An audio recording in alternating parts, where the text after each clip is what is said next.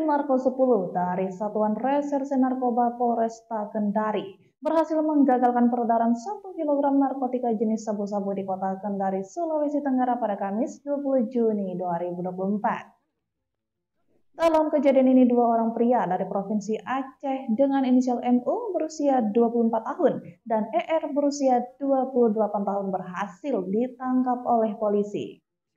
Tim Narko 10 pertama-tama berhasil menangkap M di depan Hotel Wixel, Kelurahan Lahundape, Kecamatan Kendari Barat, Kota Kendari.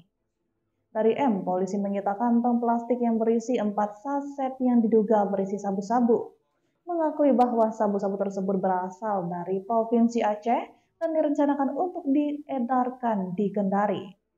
Selanjutnya, tim Narko 10 melakukan penggeledahan di kamar hotel nomor 217 tempat M menginap.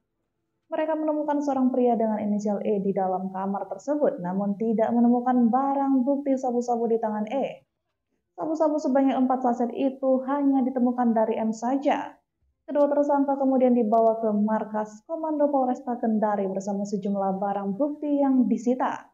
Kapolresta Kendari Kombes Pol Aristri Yunarko melalui Kanit Operasional Satres Narkoba Polresta Kendari Ibda Jumat Hasan menyatakan bahwa setelah ditimbang berat barang bukti sabu-sabu tersebut lebih dari 1 kg.